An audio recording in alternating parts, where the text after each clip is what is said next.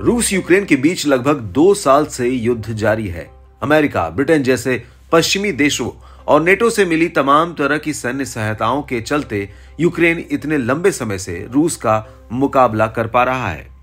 Ukraine के पीछे खड़े पश्चिम देशों और नेटो के चलते रूस भी बहुत सोच समझकर कदम बढ़ाने को मजबूर है।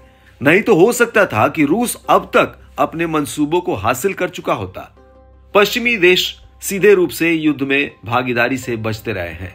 उधर रूसी अधिकारी इस मदद को लेकर कई बार चेतावनी भी देते रहे हैं कि युद्ध में पश्चिम की बढ़ती भागीदारी से नेटो और रूस के बीच सैन्य टकराव की आशंका बढ़ जाती है।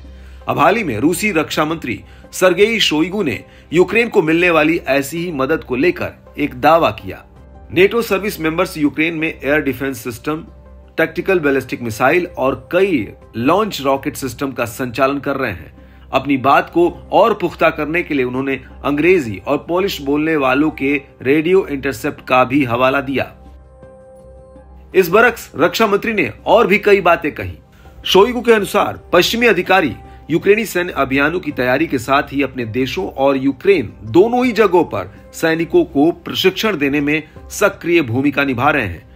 पश्चिमी सैन्य कर्मी कुछ हथियारों का संचालन भी कर रहे हैं और अमेरिका के नेतृत्व वाले सैन्य गुट के सैकड़ों सैटेलाइट यूक्रेन को सर्विलांस डाटा प्रदान कर रहे हैं।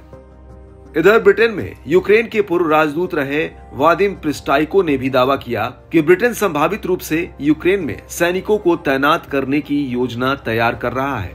हालाँकि हाल के दिनों में जैसी खबरें आ रही हैं, उससे ये भी पता चलता है कि यूक्रेन को अमेरिका से और अधिक फंड का इंतज़ार है। खुद यूक्रेन के राष्ट्रपति व्लादिमीर जेलेंस्की ने हाल ही में कहा था कि मुझे यकीन है कि रूस के खिलाफ युद्ध में अमेरिका हमें धोखा नहीं देगा और अमेरिका को पता होना चाहिए कि हमें उसकी सहायता का इंतज़ार है। अमेरिकी राष्ट्रपति जो बाइडन यूक्रेन को मदद के लिए तैयार भी हैं, लेकिन रिपब्लिकन पार्टी के सांसद यूक्रेन के लिए और फंड जारी करने के विरोध में है। ऐसे में बड़ा सवाल ये है कि यूक्रेन विदेशी मदद के भरोसे कब तक युद्ध जारी रख पाएगा और कब तक उसे पश्चिमी देशों से समर्थन मिलता रहेगा। हालाँकि ये बात भी उतनी ही सच है कि यूक्रेन को भले ही भरपूर मदद नहीं मिल पा रही हो, लेकिन पश्चिम यूक्रेन की मदद कर रहा है।